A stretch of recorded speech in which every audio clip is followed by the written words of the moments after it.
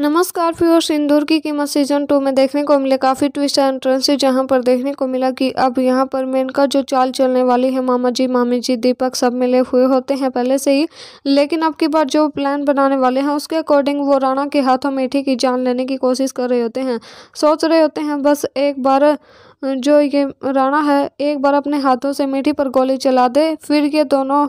मीठी तो वैसे ही मर जाएगी, राणा को जेल हो जाएगी, फिर उनका मकसद कामयाब हो जाएगा बट ऐसा कुछ नहीं होने वाला है। क्योंकि यहाँ पर राणा नहीं मारने वाला है मीठी को गोली जहाँ पर जो राणा और मीठी हैं, दोनों के बीच काफ़ी रोमांटिक सीन भी देखने को मिलेंगे, और यहाँ पर उनका पूरा प्लान होने वाला है फेल तो क्या अब की बार राणा और जो मीठी हैं, कर पाएँगे? मेनका का सामना क्या अब की बार सिखा पाएँगे उसे सबक?